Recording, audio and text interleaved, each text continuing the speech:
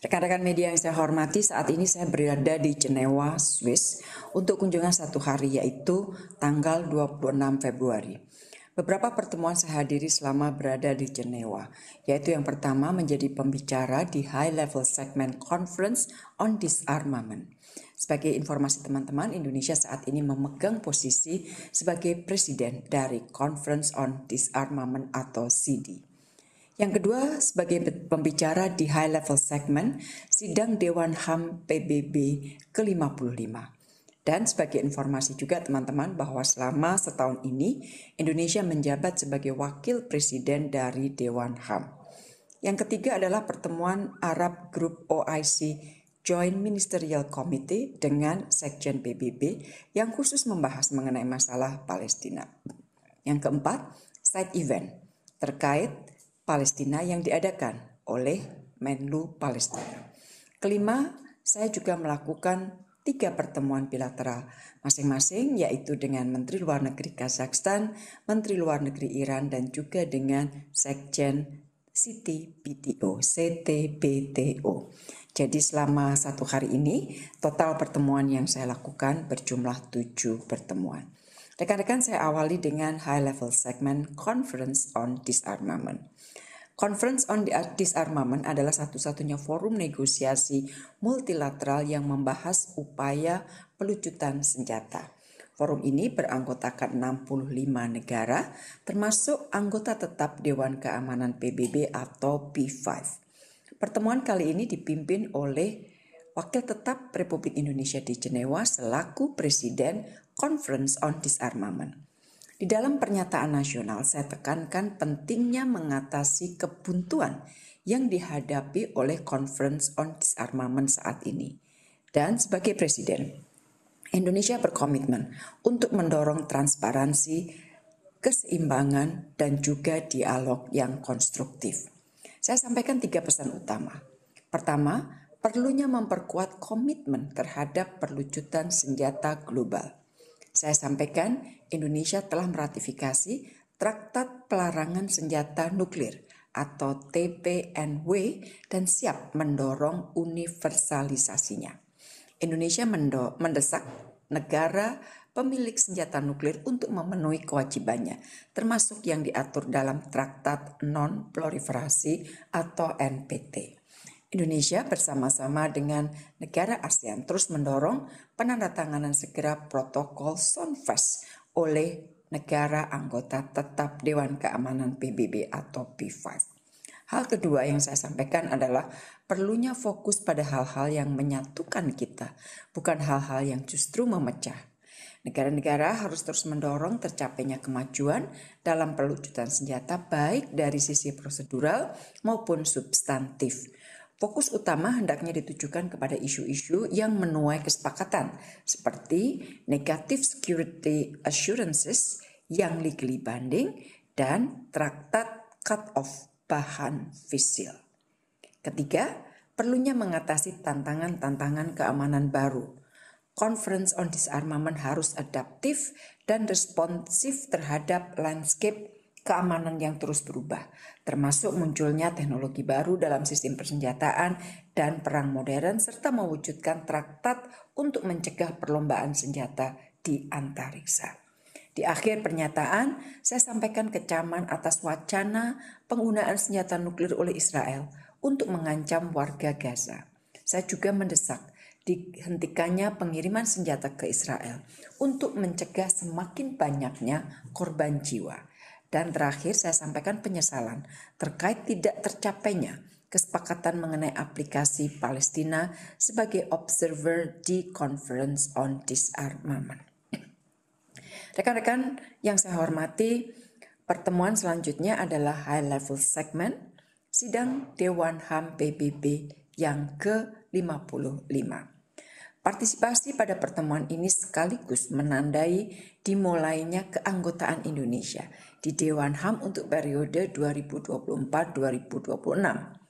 Dalam pernyataan nasional Indonesia saya sampaikan, Dewan HAM harus menjalankan kewajibannya menangani pelanggaran HAM berat yang dilakukan Israel terhadap bangsa Palestina.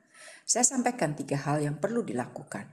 Pertama, perlunya memperkuat ekosistem HAM. Ini menjadi tanggung jawab kolektif kita bersama. Di ASEAN, Indonesia mendorong penguatan ekosistem HAM melalui Leaders Declaration on the ASEAN Human Rights Dialogue. Di Afghanistan, Indonesia mendorong pemenuhan hak-hak pendidikan bagi perempuan dan saya juga tekankan pentingnya pendanaan yang memadai untuk Office of the High Commission for Human Rights dan mekanisme-mekanisme penting lainnya seperti Komisi Penyelidikan terkait wilayah pendudukan Palestina serta dukungan terhadap Dewan HAM dalam memberikan bantuan teknis dan pembangunan kapasitas kepada negara anggota. Hal yang kedua yang saya sampaikan di dalam pertemuan uh, Dewan HAM yaitu pentingnya mengintensifkan upaya mengatasi krisis kemanusiaan. Krisis pengungsi yang dipicu oleh perang dan konflik memerlukan kerjasama dan solidaritas global untuk mengatasinya, termasuk pemenuhan kewajiban dalam konvensi pengungsi. Mekanisme kemanusiaan harus juga diperkuat dan tidak boleh dipolitisasi. Saya sampaikan bahwa kita tidak boleh tinggal diam atas dihentikannya pendanaan terhadap UNRWA. Sementara dana untuk mendukung kejahatan perang di Gaza terus mengalir. Hal yang ketiga, pelindungan dan pemajuan HAM harus dilakukan secara setara. Hak pembangunan setiap negara harus dihormati guna menjamin kesejahteraan rakyatnya dan mencapai SDGs. Kolaborasi juga perlu diarahkan untuk menjamin hak masyarakat rentan, khususnya perempuan, penyandang disabilitas, dan juga migran. Rekan-rekan yang saya hormati, kegiatan berikutnya adalah pertemuan Komite Liga Arab OKI dengan Sekjen PBB yang khusus membahas isu Palestina.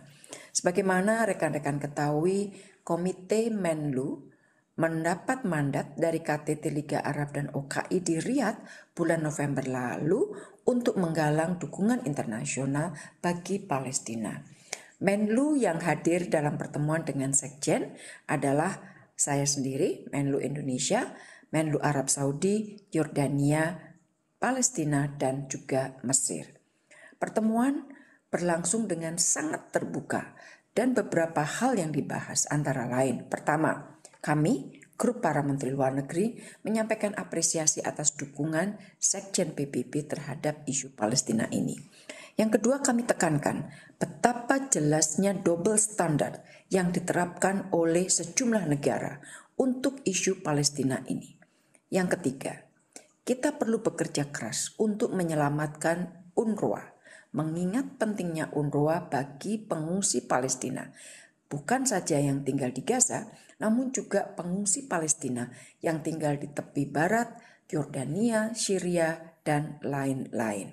Yang keempat, para menteri luar negeri OKI yang hadir menyampaikan kembali komitmennya untuk terus berjuang bagi Palestina. Dan yang kelima kami sampaikan, two-state solution menjadi satu-satunya solusi. Dan ini penting untuk terus menjadi pedoman bagi kita semua. Rekan-rekan, kegiatan selanjutnya adalah side event terkait Palestina. Jadi isu Palestina ini banyak sekali dibahas di semua event yang dilakukan di uh, markas besar PBB di Jenewa pada hari ini.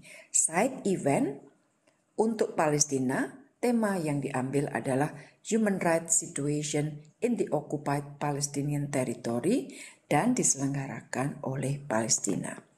Para Menlu yang tergabung dalam komite Menlu Liga Arab dan OKI yang tadi saya sebutkan, Menlu Arab Saudi, Yordan, uh, Mesir, saya sendiri dan tentunya uh, Palestina turut hadir dalam side event ini.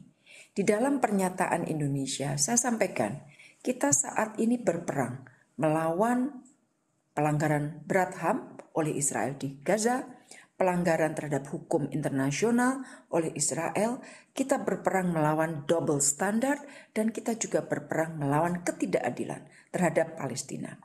Saya juga sampaikan pertanyaan bahwa dengan situasi yang terjadi di Gaza dan Palestina, apakah kita akan tinggal diam? Seharusnya jawabannya adalah tidak. Selain itu, Di dalam side event tersebut saya juga menyampaikan beberapa hal. Pertama, gencatan senjata sangat diperlukan jika kita ingin melihat perbaikan situasi di lapangan. Kedua, bantuan kemanusiaan yang cukup dan berkelanjutan diperlukan, termasuk untuk penduduk di Gaza Utara.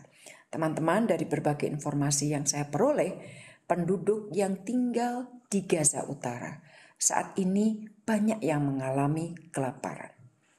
Ketiga, kita harus mendorong kerja UNRWA, UNRWA. Kita harus menyelamatkan UNRWA karena terkait dengan hidup jutaan pengungsi Palestina. Isu mengenai UNRWA ini banyak disebut teman-teman oleh para menteri luar negeri yang hadir di dalam side event ini. Hal yang keempat, saya sampaikan kita harus terus melawan pemberlakuan double standard dan sekali lagi isu double standard ini juga banyak disebut oleh para menteri luar negeri. Kelima, saya sampaikan mengenai keputusan ICJ yang seharusnya mengikat bagi semua negara termasuk Israel. Namun sebulan setelah keputusan sementara ICJ atas submisi Afrika Selatan, Israel tetap tidak memenuhi tenggat waktu untuk menyampaikan laporan wajibnya atau obligatory report. Hal ini tentunya tidak dapat terus dibiarkan. Keenam, saya sampaikan, hentikan dukungan dan pengiriman senjata kepada Israel. Dan sebagai penutup saya sampaikan bahwa kita harus terus bersama. Kita harus terus bekerja sama untuk memerangi ketidakadilan yang sudah berlangsung sangat lama bagi bangsa Palestina. Rekan-rekan di sela-sela pertemuan, semua pertemuan yang saya sebutkan, saya juga melakukan tiga pertemuan bilateral yaitu dengan Menteri Luar Negeri Iran dan Kazakhstan yang utamanya membahas mengenai situasi Palestina dan kerjasama bilateral dan juga dengan Eksekutif Secretary atau Sekjennya Siti BTO. Dengan Iran uh, selain masalah Gaza, kita membahas mengenai kerjasama robotik telesurgery center di Indonesia yang MOU-nya sudah ditandatangani pada bulan Desember lalu. Sedangkan dengan Kazakhstan dibahas mengenai dukungan Kazakhstan atas upaya untuk segera menyelesaikan negosiasi Indonesia EAEU EAEU uh, Free Trade Agreement. Kemudian kita juga mendorong atau sepakat uh, dimulainya negosiasi uh, bilateral investment treaty yang sudah dimulai pada bulan November tahun lalu dan kita juga menjajaki kerjasama untuk penguatan konektivitas dan kerjasama sister city antara Nusantara dan Astana. Sedangkan dengan City BTO dibahas kerjasama Indonesia City BTO antara lain dalam pemantauan gempa bumi dan tsunami dan saya sampaikan komitmen dukungan Indonesia terhadap CTBT sebagai traktat yang sangat penting bagi keamanan global dan perlucutan senjata serta apresiasi kepada CTBTO dalam mendorong penghentian uji coba nuklir. Rekan-rekan itu hasil kunjungan saya ke Jenewa dan besok pagi-pagi sekali saya langsung kembali ke Jakarta. Demikian yang dapat saya sampaikan. Terima kasih.